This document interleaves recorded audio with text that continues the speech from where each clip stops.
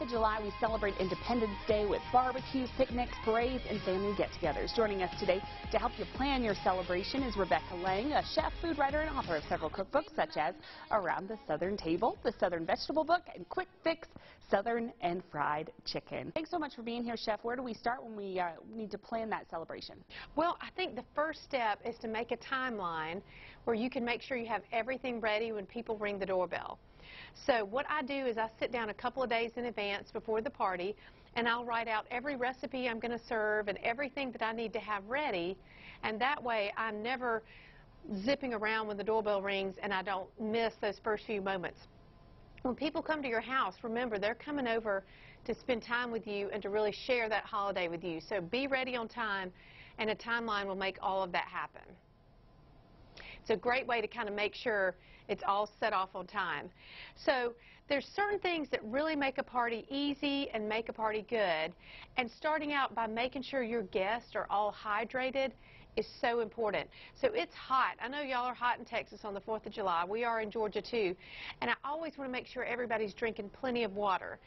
So serving true lemon lemonades and limeades is really a great way to have fun water. It's more delicious. It's more refreshing. And I have two kids at home, so I really pay attention usually to what we're eating. And these um, True Lemon lemonades and limeades have only 10 calories a packet. They're simple, clean ingredients. They're non-GMO, no artificial sweeteners or flavorings or preservatives. And my kids love that they come in nine flavors. So a lot of times you may be like me too, Megan, that you're running around getting ready for a party and you really need some time to run to the grocery store.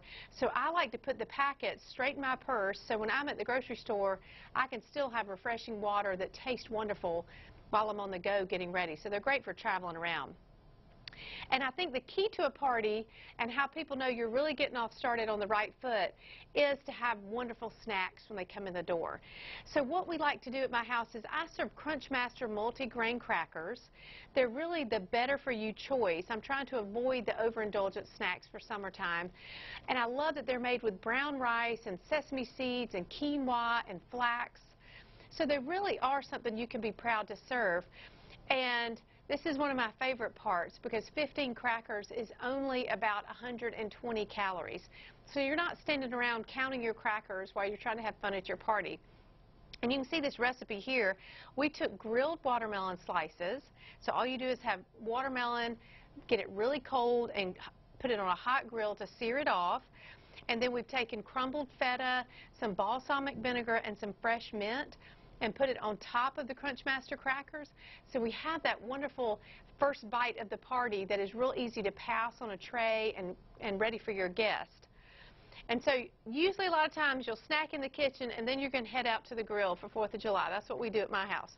And so the grill is where the real fun begins because I like to have adult drinks that are really representative of the holiday. And you can tell from looking over here, we cannot get more patriotic than what we have with Smirnoff. So for a limited time only, Smirnoff has Smirnoff Red, White, and Berry and Smirnoff Ice Red, White, and Berry. So both of these are fantastic and for two different reasons. I love the Smirnoff Ice Red, White, and Berry because I put it in a cooler. I serve it straight out of the cooler in the bottles, in the cans. I don't have to worry about extra glassware around for my guests. And it's just a really easy way to serve a really fun beverage. Now, if you wanted to step it up and make a cocktail, you can easily do that with Smirnoff Red, White, and Berry. We've got a, a great cocktail here called America Mule, which we have the recipe on Smirnoff .Com but this is so fun to serve if you just want to have kind of your signature cocktail at an event. So you want to make sure that you've got all your fun things put together because it's really all those elements that make a wonderful party and everything flow together. And it just takes a little bit of planning and it can all happen. For all my recipes today, if you didn't get to write down everything, everything's on tipsontv.com, and you can see everything for your party to be ready. All right. Well, happy 4th of July to you. Thanks for being here today. Thank you. Happy 4th. All right. Coming up on the show today, there's a